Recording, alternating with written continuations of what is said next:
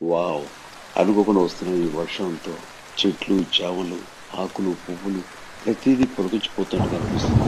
ఆ ఉరుములు ఆ పడుతున్న వర్షం ఎదురుగా సప్తవర్ణాలతో కనిపిస్తున్న ఆ ఇంద్రధనుస్సు ఇవన్నీ కూడాను ఏదో మానవాళికి ప్రకృతి ఒక శుభవార్త చెప్తున్నట్లుగా చెప్పాలని ప్రయత్నిస్తున్నట్లుగా ఒక మంచి వార్త చెప్తున్నట్లుగా నాకు అనిపిస్తుంది.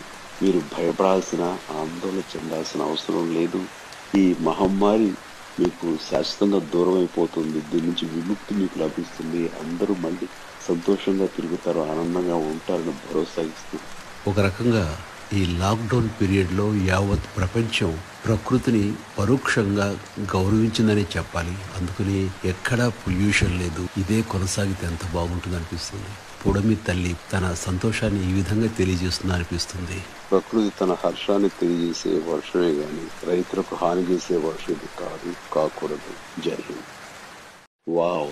అనుకోకుండా వస్తున్న ఈ వర్షంతో చెట్లు చేమలు ఆకులు పువ్వులు ప్రతిదీ పొలగించిపోతున్నట్టు కనిపిస్తుంది. ఆ ఉరుములు ఆ పడుతున్న వర్షం ఎదురుగా సప్తవర్ణాలతో కనిపిస్తున్న ఆ ఇంద్రధనుస్సు ఇవన్నీ కూడాను ఏదో మానవాళికి ప్రకృతి ఒక శుభవార్త చెప్తున్నట్లుగా చెప్పాలని ప్రయత్నిస్తున్నట్లుగా ఒక మంచి వార్త చెప్తున్నట్లుగా నాకు అనిపిస్తుంది.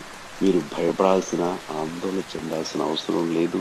ఈ మహమ్మారి మీకు శాశ్వతంగా దూరం అయిపోతుంది దీని నుంచి విముక్తి మీకు లభిస్తుంది. అందరూ మళ్ళీ సంతోషంగా తిరుగుతారు ఆనందంగా ఉంటారని భరోసా ఇస్తూ.